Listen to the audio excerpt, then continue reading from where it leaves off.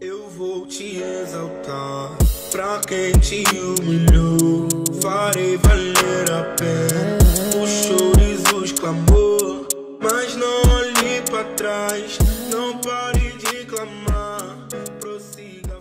O jogo passa de graça, o Brasil tem contra-ataque pra Bia. Que bola espetacular da Roberta!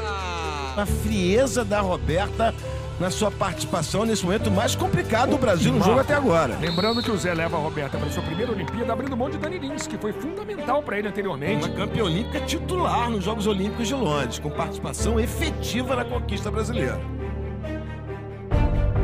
Isso é lindo, né? Porque as duas disputam posição. Aí você percebe o que representa um grupo.